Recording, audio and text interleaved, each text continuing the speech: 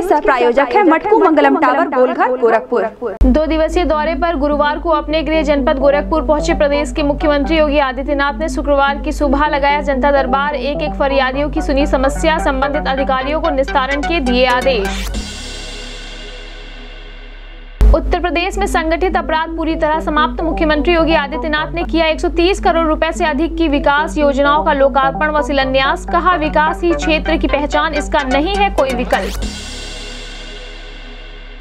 शाहपुर थाना क्षेत्र में किशोरी के साथ हुए सामूहिक बलात्कार में शामिल पाँच अभियुक्तों को पुलिस ने किया गिरफ़्तार। एसएसपी ने किया खुलासा, कहा, सभी अभियुक्तों पर लगेगा रासुका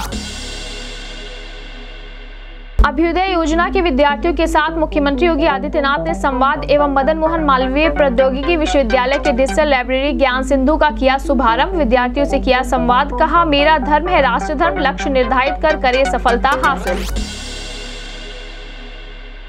मुख्यमंत्री योगी आदित्यनाथ की अध्यक्षता में संपन्न हुई 10 करोड़ से अधिक लागत के निर्माण कार्यों सहित विभिन्न विकास योजनाओं की समीक्षा बैठक कार्यों में गति लाने के दिए निर्देश। दो दिवसीय दौरे पर गुरुवार को अपने गृह जनपद गोरखपुर पहुँचे प्रदेश के मुख्यमंत्री योगी आदित्यनाथ विभिन्न कार्यक्रमों में शामिल होने के बाद शुक्रवार को लखनऊ के लिए किए प्रस्थान जाने के पहले अधिकारियों को दिए आवश्यक दिशा निर्देश। राज्यसभा सांसद कमिश्नर आईजी डीएम एसएसपी सहित तीन हज़ार सात सौ अड़सठ लोगों को लगाया गया कोरोना का वैक्सीन 115 सरकारी बूथों और 15 प्राइवेट बूथों पर लगाया गया कोविड का टीका।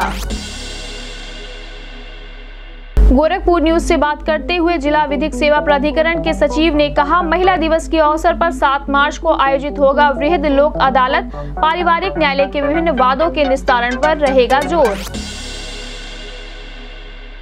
मंडलायुक्त जयंत नार्लिकर की अध्यक्षता में संपन्न हुई शहीद असवाक उल्ला खां प्राणी उद्यान केंद्र के कार्यों की समीक्षा बैठक। कहा, जल्द ही मुख्यमंत्री करेंगे चिड़ियाघर का लोकार्पण। जनता को किया जाएगा समर्पित। गोरखपुर में शुक्रवार को मिले तीन नए कोरोना संक्रमित मरीज़। ज़िले में कोरोना संक्रमित मरीजों की संख्या हुई इक्कीस अब तक तीन कोरोना संक्रमित मरीज़ गवा चुके हैं। अपनी जान सत्ताईस रह गए एक्टिव मरीज़। सीएमओ डॉक्टर सुधाकर पांडे ने की पुष्टि। और Gorakhpur obstetrics and gynaecological society द्वारा 8 मार्च को आयोजित होगा स्तन कैंसर और बच्चेदानी के मुख्य कैंसर के जाँच का निःशुल्क शिविर।